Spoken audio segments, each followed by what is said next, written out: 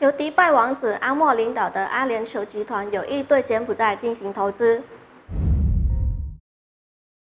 迪拜王子阿莫今日上午前往和平大厦拜会洪森总理。洪森总理常务助理英素帕列在会后说，阿莫王子表示有意参与推动柬埔寨发展，包括投资石油、天然气、贸易和金融领域。担任阿联酋集团主席的阿莫王子表示，将向柬埔寨政府提供五亿美元贷款，鼓励减从阿联酋入口商品。洪森总理感谢迪拜王子、阿联酋政府和人民一直向柬埔寨提供宝贵的援助，尤其是帮助柬埔寨人力资源培训和私立孤儿院。